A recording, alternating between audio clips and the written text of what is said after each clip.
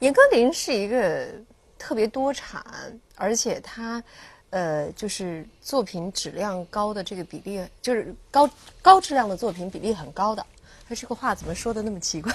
呃，我想我的意思就是说，他的虽然产量很大，但是出来的精品也很多。那我觉得，呃，严歌苓是一个表面很温婉，但是他其实对跟他合作的人是非常非常有要求的。你当时在跟他谈这个，就你们，你你你刚才还像你说的啊，一见如故。你觉得他有没有在当时的时候跟你提出来说一些？就是他对他自己的这个原著小说有哪些要需要坚持的，或者他希望你在比方说买了这个版权之后，呃，比较注重哪边？他会提这样的要求吗？零都是我说的。我记得三年多前，就是我说我怎么理解这个小说，我怎么会去拍它，啊，怎么去诠释，用画面、影像、音效、音乐、包装、美术。整个班子的搭配，我告诉他我要做哪一种风格的，他没有任何的意见。当时，啊，没有任何没有说啊，我一定要哪个演员演，比如说我一定要哪个导演导，一点儿都没有，特别特别好。一直到我后来呃剧本改编完了，我给他看了以后，他说改的很对，这个方向改的很好。谁改的？是我们的编剧团队改的。哦哦，嗯，一个团队改的。那么他。给我很大的鼓励，是呃，他有说让我演王葡萄。嗯，我在买的时候我就想演王葡萄，其实，但到拍的时候呢，我也找了一圈儿，包括我的几个好朋友，什么高圆圆，我都问了。圆圆说：“我演不了王葡萄，他演不了。”然后我还问严老师，我记得跟他在北京吃的饭，快临近开机还有两个月吧。嗯，然后他吃着吃着。他这个议题是本来就有的，但是我们吃饭的时候在聊别的事儿，突然他来了一句：“你可以演王葡萄呀。”嗯，我说：“啊，是吗？”我说：“那我想想吧。”嗯，我想任何一个女演员都想演王葡萄，但是我自己演了十年戏，也没有像对王葡萄这样的一种不自信。一开始，嗯，后来是他这句话之后呢，我觉得，那那就这样吧，反正本来好像应该就是这样的。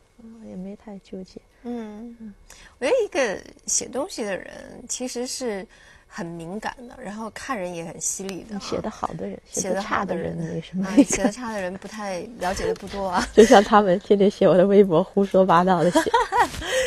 然后我记得。好像在哪个采访上面看过，因为《第九个寡妇》是严歌苓自己很喜欢的一个作品。嗯然后我记得她好像是说，她觉得王葡萄跟她自己是很像的。是的。那她这么爱的一个角色，又是她主动提说她觉得你可以演，你觉得有哪些这种共通性？你的个性的哪一面让她觉得是很符合这个角色的？我想，我跟严老师呢。交流的不是太多，嗯嗯，但我很很能懂他写的东西。我估计我我估计我比较像他的一种感知能力，嗯，是这种知性的感知能力，感知人和人之间的情感，嗯嗯，当然需要一定的知识量累积，去知道世界上发生的事情到底是怎么一回事儿，看它的本质。嗯，然后这种感知能力可能会比较像。现在进行到什么地步了？拍到什么程度？拍完了，在后期制作，嗯，在做音乐啊，做特效啊。袁老师写很多动物都会演戏，我们把他们都拍出来了。当时导演说这没法拍，一个鳖 砍了头还能爬，这怎么拍？一个驴还掉眼泪，啊，一个豹子还跟刘佩琦老师演对手戏，一个豹子。我还真去动物园找过豹子，找半天一瘸的豹子不行不行，然后现在就得动电脑动效做很多，嗯，就是这种工作在做后期的工作。嗯，那后来豹子怎么跟刘碧琴老师演对手戏呢？电脑特效做，刘老师演独角戏，那那是他最拿手。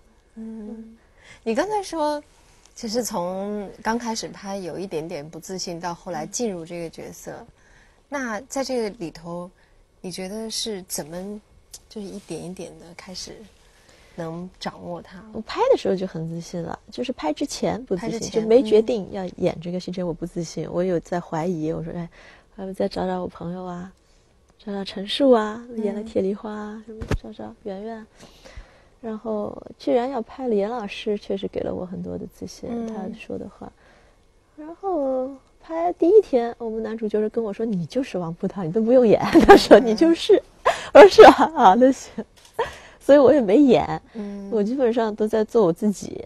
我我很多的精力也花在整个制作上。嗯，所以呃，王葡萄是我的生活，我不用演，除了我得早上去化妆梳头，然后他的一举一动，他的。